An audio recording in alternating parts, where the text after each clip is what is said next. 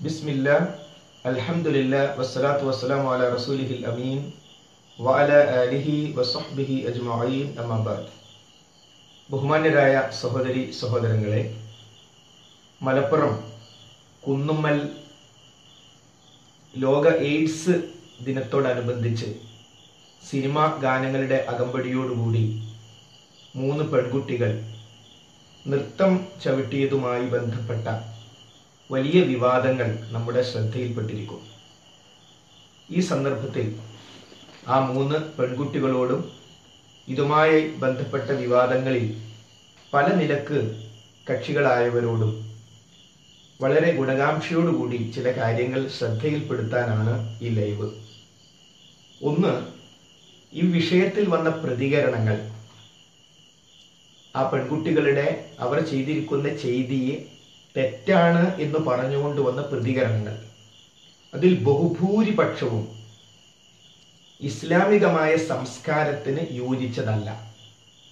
പെൺകുട്ടികൾ നൃത്തം ചവിട്ടിയത് തെറ്റാണ് എന്ന ചിന്താഗതി ഉള്ള ആളുകൾ മനസ്സിലാക്കേണ്ടത് പ്രതികരണങ്ങളിലും വലിയ വലിയ അബദ്ധങ്ങൾ പറ്റിയിട്ടുണ്ട് എന്നാണ്. ഇവിടെ നാം ചേർത്ത് മനസ്സിലാക്കേണ്ട ഒരു കാര്യം ചീത്ത പറയുക അസഭ്യം പറയുക നിന്ദിക്കുക പരിഹസിക്കുക. ഇങ്ങനെയുള്ള തെറ്റായ ചെയ്തികളുമായി ബന്ധപ്പെട്ട് ഖുർആാനും ഹദീസും വളരെ കൃത്യവും വ്യക്തവുമായി ഇസ്ലാമിക പാഠങ്ങൾ നൽകിയിട്ടുണ്ട്. ഈ പാഠങ്ങളെ അവഗണിച്ചുകൊണ്ടാണ് സോഷ്യൽ മീഡിയയിൽ പലരും അഴിഞ്ഞാടിയിട്ടുള്ളത് എന്ന് പറയാതിരിക്കാൻ നിർവാഹമില്ല.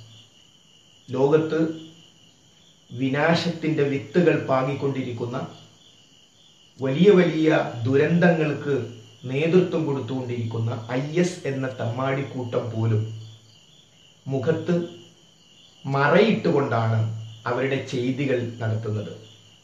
പലരും രാജ്യം വിട്ട് അവരെ പിടിക്കാൻ പറ്റാത്ത രൂപത്തിലാണ് അജ്ഞാത വോയിസുകൾ ഐ എസ് പോലും വിടുന്നത്. എന്നാൽ പരസ്യമായി ഇസ്ലാമിനെ അവഹേളിക്കുന്ന രൂപത്തിലുള്ള പ്രതികരണങ്ങൾ ചില സഹോദരങ്ങളിൽ നിന്ന് ഉണ്ടാകുന്നതിനെ കുറിച്ച് അവർ വിചിന്തനം നടത്തണമെന്ന് തന്നെയാണ് ആമുഖമായി ഓർമ്മപ്പെടുത്തുവാനുള്ളത്.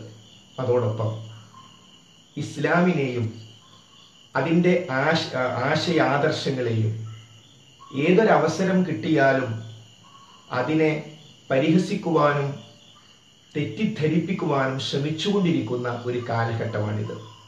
അതിന് ഏറ്റവും നല്ല ഉദാഹരണമാണ് മലപ്പുറത്ത് ഈ പെൺകുട്ടികളുടെ ഈ നൃത്തം ചവിട്ടൽ നടക്കുന്ന അതേ ഏകദേശം ആ ഒരു ദിവസങ്ങൾക്കുള്ളിൽ തന്നെയാണ്.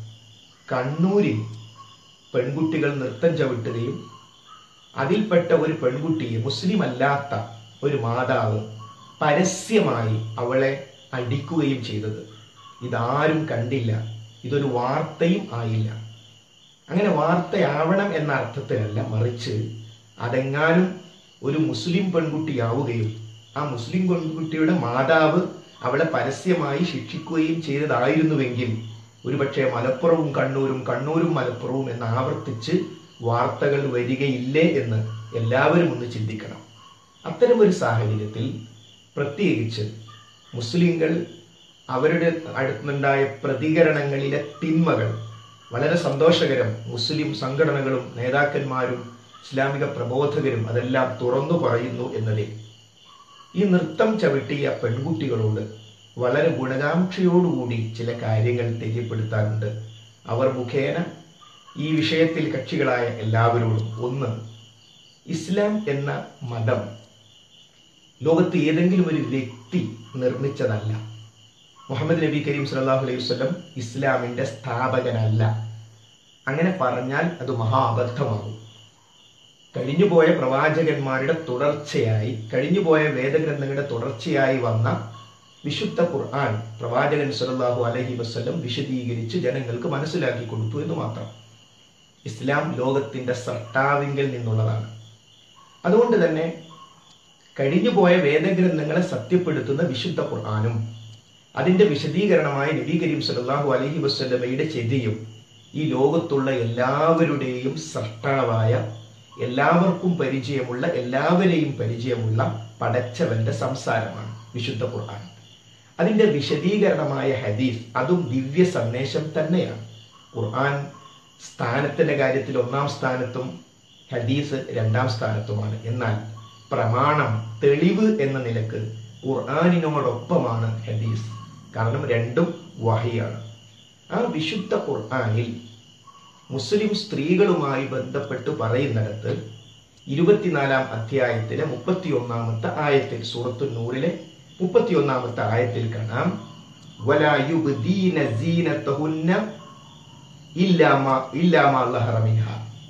അവരുടെ ഭംഗിയിൽ നിന്ന് പ്രത്യക്ഷമായതൊഴിച്ച് അവർ വെളിപ്പെടുത്താൻ പാടില്ല.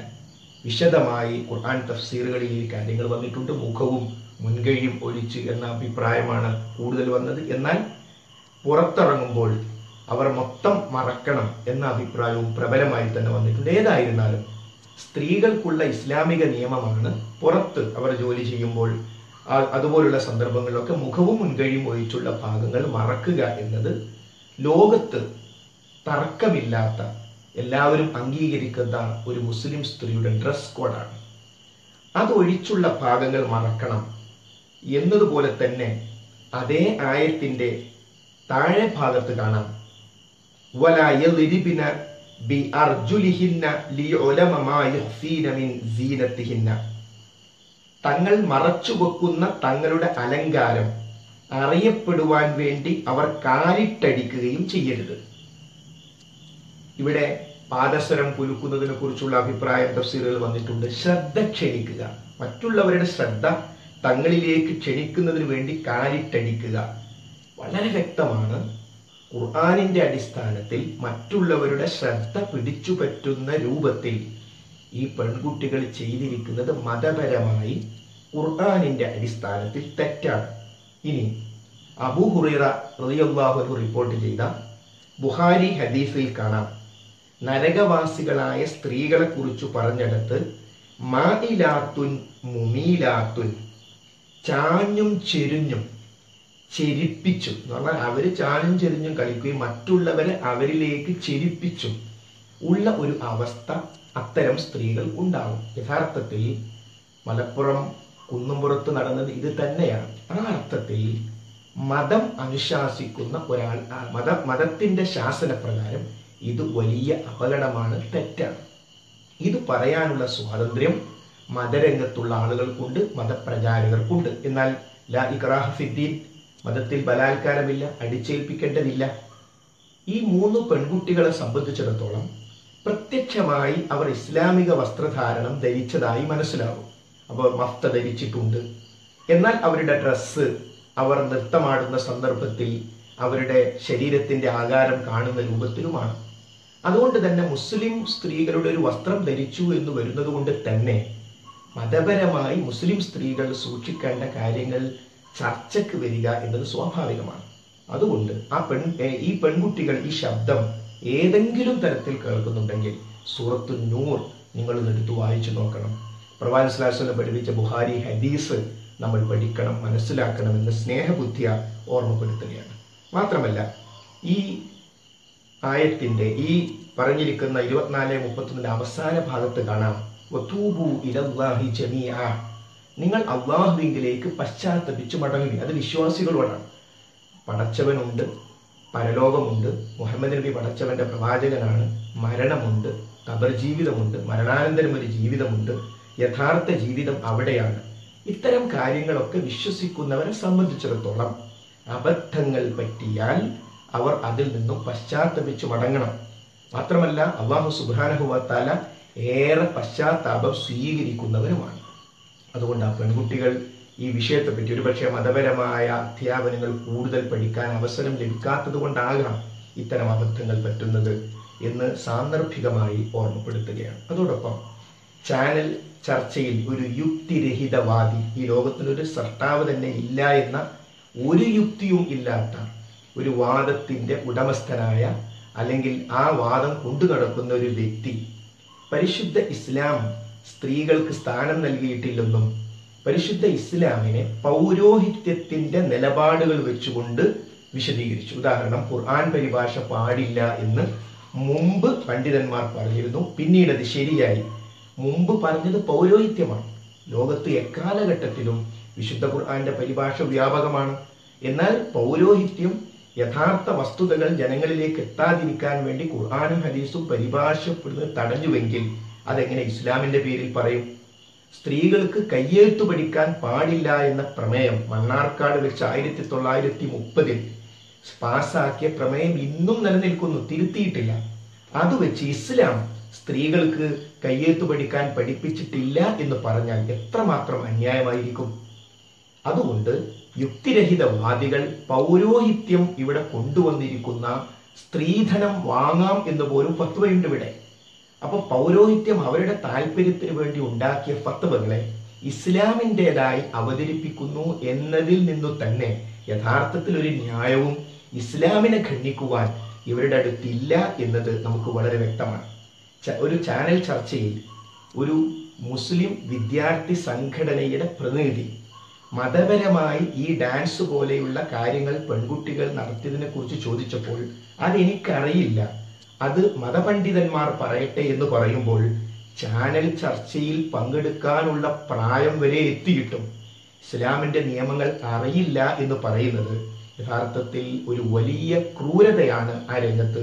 അത് പഠിക്കുകയും മനസ്സിലാക്കുകയും ചെയ്യേണ്ടത് ആ ചർച്ചയിൽ പങ്കെടുത്ത സഹോദരിക്കടക്കം ബാധ്യതയല്ലേ എന്ന് നാം ചിന്തിക്കേണ്ടതുണ്ട്. ഇതോടൊപ്പം പുരുഷന്മാർക്ക് യാതൊരു നിയന്ത്രണവുമില്ല. എല്ലാ നിയന്ത്രണവും സ്ത്രീകൾക്ക് മാത്രമേ ഉള്ളൂ. വളരെ പ്രസക്തമായ ഒരു ചോദ്യമാണ് ഉണ്ട്. ഉദാഹരണം പുരുഷന്മാർക്ക് സ്വർണം ധരിക്കാൻ പാടില്ല. പ്രവാൻസ്ലാസ്വലം നിരോധിച്ച കാര്യമാണ്. അവരുടെ വസ്ത്രം നിര്യാണിക്ക് മുകളിലായിരിക്കണം. നിര്യാണിക്ക് താഴെയുള്ള വസ്ത്രം പുരുഷന്മാർ ധരിച്ചാൽ അത് നരകത്തിലാണ് പ്രവാൻസ്ലാസ്വലം പറഞ്ഞിട്ടുണ്ട് എന്നാൽ സ്ത്രീകൾക്ക് അങ്ങനെയല്ല. അവർക്ക് നിര്യാണിക്ക് താഴേക്ക് പോകാം. അതേപോലെ അന്യ സ്ത്രീകളുമായി ഒറ്റക്കാകാൻ പാടില്ല. പുരുഷന്മാർക്കുള്ള നിയന്ത്രണമാണ് സ്ത്രീകൾക്ക് എന്ന പോലെ. അതേപോലെ സ്ത്രീകളെ ഹസ്തദാനം ചെയ്യാൻ പാടില്ല. നിയന്ത്രണമാണ്. ഇങ്ങനെ ഒട്ടേറെ നിയന്ത്രണങ്ങൾ പുരുഷന്മാർക്കും ഉണ്ട് അതേപോലെ സ്ത്രീകൾക്കും ഉണ്ട്. അതുകൊണ്ട് ഇത്തരം വിഷയങ്ങളെ കൃത്യവും വ്യക്തവുമായി നാം മനസ്സിലാക്കണം. അവനവന്റേത് മാത്രമാണ് ശരി എന്ന് പറയുന്നത് വലിയ പ്രശ്നമാണ് എന്നും ഈ ചർച്ചക്കിടെ വരികയുണ്ടായി. യഥാർത്ഥത്തിൽ ആ ഒരു വാദം തന്നെ തെറ്റാണ്. അവനവന്റേത് മാത്രമാണ് ശരി എന്ന് പറയാൻ ആത്മാർത്ഥതയും വിശ്വാസവുമാണ്. കാരണം ലോകത്ത് എല്ലാ മതങ്ങളും ശരിയല്ല. എന്നാൽ അവനവന്റേത് മാത്രമേ നിലനിൽക്കാൻ പാടുള്ളൂ. മറ്റതൊക്കെ മറ്റതെല്ലാം നശിച്ചു പോകണം നിലനിൽക്കാൻ സമ്മതിക്കില്ല എന്ന് പറയൽ തീവ്രവാദവും കാടത്വവുമാണ്. അത് പാടില്ല. എല്ലാവർക്കും പ്രബോധന സ്വാതന്ത്ര്യമുണ്ട്. അതേ സന്ദർഭത്തിൽ അവനവന്റേത് ശരിയാണ് എന്ന് മറ്റുള്ളവരോട് പറയാം അത് പ്രൊപ്പഗേറ്റ് ചെയ്യാം പ്രചരിപ്പിക്കാം. ഇസ്ലാമിനെ സംബന്ധിച്ചിടത്തോളം എല്ലാവരുടെയും മതമാണ് ഇസ്ലാം. അതുകൊണ്ട് എല്ലാവരും ഇസ്ലാമിനെ അറിയണം. വിശുദ്ധ ഖുർആൻ പറയുന്നുണ്ട് അള്ളാഹു ഉദ്ദേശിച്ചിരുന്നുവെങ്കിൽ ലോകത്ത് മുഴുവൻ ആളുകൾക്കും പടച്ചവൻ ഹിതായത്ത് കൊടുക്കുമായിരുന്നു. അങ്ങ് അള്ളാഹു അങ്ങനെ ഉദ്ദേശിച്ചിട്ടില്ല. അതേ സന്ദർഭത്തിൽ പടച്ചവന് പടച്ചവന്റെ സന്ദേശം ജനങ്ങൾക്ക് എത്തിച്ചു കൊടുക്കുക. അത് അംഗീകരിക്കുന്ന ആളുകൾ സ്വമനസ്സ അത് അംഗീകരിക്കുക. അതുകൊണ്ട് ഇസ്ലാം ഇന്നതാണ് എന്ന് എല്ലാവരോടും പറയണം. എന്നിട്ട് അതിന്റെ സത്യത നാം മനസ്സിലാക്കുകയും ചെയ്യണം എന്നതാണ് ആ വിഷയത്തിൽ നമുക്ക് കൂട്ടിച്ചേർക്കാനുള്ളത്. യൂറോപ്പ് യൂറോപ്യൻ രാജ്യങ്ങളിലടക്കം ധാരാളക്കണക്കിന് സ്ത്രീകൾ ഇസ്ലാമിലേക്ക് വരാനുള്ള കാരണങ്ങളിൽ ഒന്നായി പഠനങ്ങൾ തന്നെ അടുത്തുള്ള പഠനങ്ങൾ പോലും വ്യക്തമായി പറയുന്നത് അവർക്ക് അടിഞ്ഞാട്ടത്തിന്റെയും ലൈംഗിക ചൂഷണത്തിന്റെയും ലോകത്ത് നിന്ന് ഒന്ന് ഒതുങ്ങി സ്വസ്ഥമായി ഒരു ഭർത്താവിന്റെ കീഴിൽ ഒന്ന് ജീവിക്കുവാനുള്ള അവരുടെ ആഗ്രഹമാണ്. ഇസ്ലാമിലേക്ക് അവരെ എത്തിക്കുന്നത് എന്നാണ്. മാധവിക്കുട്ടി കമലാസുരയ്യ ആകുന്നതിന് മുമ്പ് പറയുകയുണ്ടായി തിരുവനന്തപുരത്ത് പാളയത്തുകൂടി നട്ടപ്പാതിരക്കും ഇസ്ലാമിക വസ്ത്രധാരണത്തോടുകൂടി ഞാൻ നടന്നു പോകും എന്നത്. അതാണ് ഇസ്ലാമും പറയുന്നത്. അത് അവൾക്കുള്ള സംരക്ഷണമാണ് എന്ന്. അതുകൊണ്ട് വിഷയങ്ങളെ നാം വ്യക്തമായി മനസ്സിലാക്കണം.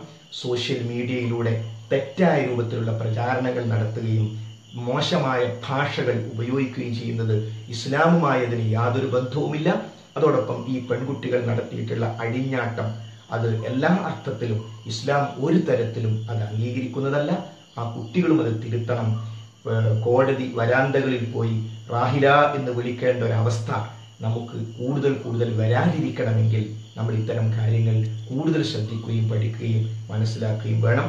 ഐ എസ് പോലെയുള്ള തമ്മാടിക്കൂട്ടങ്ങൾ കാട്ടിക്കൂട്ടുന്ന വൃത്തികേടുകളെ കൊണ്ട് തന്നെ ഇസ്ലാം തെറ്റിദ്ധരിപ്പിക്കപ്പെടുമ്പോൾ ഇത്തരം സന്ദർഭങ്ങളിൽ ഇവിടുത്തെ ഫാഷിസ്റ്റ് ശക്- ശക്തികളടക്കം ഇസ്ലാമിനെ തെറ്റിദ്ധരിപ്പിക്കുവാൻ വേണ്ടി നമ്മുടെ വാക്കുകളും നമ്മുടെ എഴുത്തുകളും ഉപയോഗിക്കുന്ന ഒരവസ്ഥ ഉണ്ടാകരുത് എന്ന് നാം ഉറച്ചു മനസ്സിലാക്കണം. അതോടൊപ്പം ഹൈന്ദവ മുസ്ലിം സമൂഹങ്ങളടക്കം പരസ്പര മനുഷ്യ സൗഹാർദ്ദപരമായ അന്തരീക്ഷത്തോടുകൂടി ആരോഗ്യകരമായി വിഷയങ്ങളെ കൈകാര്യം ചെയ്യുന്ന ഒരവസ്ഥയിലേക്ക് വരണം. അള്ളാഹു സുബാനഹുവത്താല എല്ലാ നന്മകളും എല്ലാവർക്കും